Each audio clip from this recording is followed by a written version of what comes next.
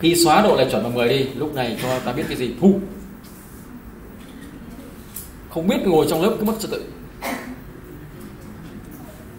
Bao nhiêu bạn nó ngồi in, nó không nói gì, không sao.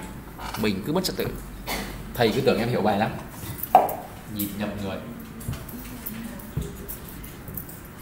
So với ở trên thì xóa đi một cái đoạn là độ lệch chuẩn 10 bây giờ chúng ta làm gì biết sigma mà làm như trên này à, ờ, không biết sigma không thể làm như trên được. Ấy đi thi ta lấy một bài người ta đã chữa rồi. Và hiểu vậy chứ em hiểu. Không ăn đi thi nó xóa một đoạn nó thêm một đoạn học thuộc vẹn cứ thêm một thêm hôm nào báo điểm. Chưa? Nó học cái phân tích. Kích Thấy không? Như trên thì nó xóa có một tí thôi. Như vậy trong trường hợp này là không biết sigma nữa đúng không? Dữ liệu sơ cấp không biết sigma lại quá đơn giản.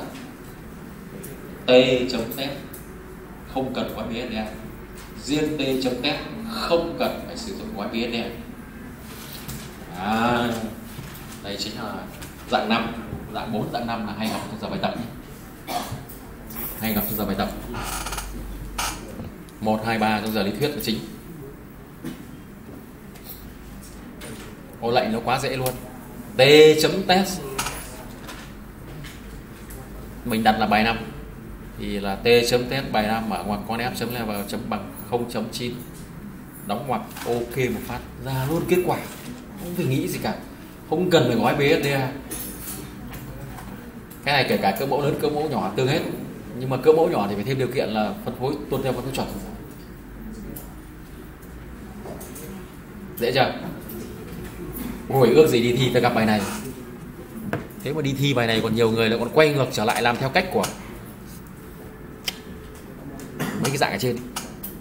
Không sai thì không sai, nhưng mà nó phí công. Mất thời gian. Chúng ta nhớ là đi thi nó chỉ có 90 phút thôi. 90 phút vào run mất 50 phút rồi. Toàn câu hỏi lại lúc đấy mà mất bình tĩnh nộp bài ra về thì hỏng việc lớn. Bình tĩnh. Uống một ngụm nước, hít thở hít thở sâu vào, xong rồi thở ra. Và nhớ lại những gì giáo dặn, phải hết sức bình tĩnh, chiến đấu hơi thở cuối cùng. 30 phút có thể được 5 điểm và đã qua. Đó. Thầy đã có kỳ thi thi trong vòng 2 tiếng, một tiếng, toát hết mồ hôi, không làm được công gì hết. Đứng dậy thì mang nỗi nhục cho dòng họ. Cả dòng họ, mỗi mình đi thi tiến sĩ.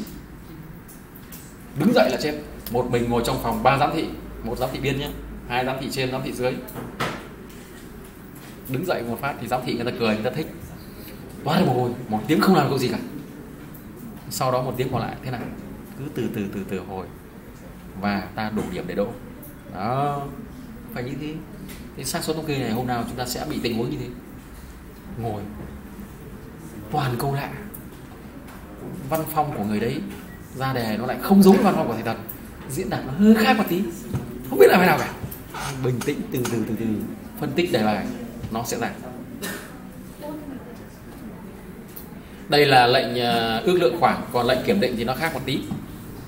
Đó là nó phải thêm an tờ và thêm chữ vui mà u mỗi thế này là xong. Dùng phương pháp p giá trị cho nó lành. Cái này về nhà chúng ta sẽ hoàn thiện nốt à, các em thân mến như vậy hôm nay chúng ta đi được 5 dạng bài về ước lượng và kiểm định trung bình. Bài giảng hôm nay sẽ được đăng lại ở trên kênh youtube cá nhân. Nếu ai chưa rõ xin mời xem lại. Xin mời các em nghỉ.